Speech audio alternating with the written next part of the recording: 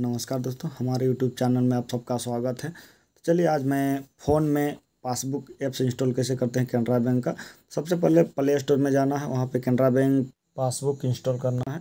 Mobile number डालना है customer ID डालना है। देख सकते हैं जिस तरह से हमने डाल रहा है, उसी तरह से आपको दिखाते हैं, है ना?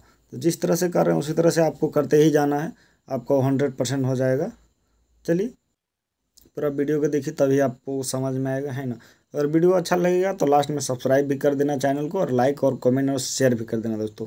तो चलिए वीडियो को शुरू करते हैं अपना मोबाइल नंबर डाल के। जिस नंबर पे आपका बैंक में ऐड है, वही नंबर आपको ऐड करना है दोस्तों। जिस तरह से मेरा बैंक में ऐड है, वही नंबर को हमने ऐड किया है।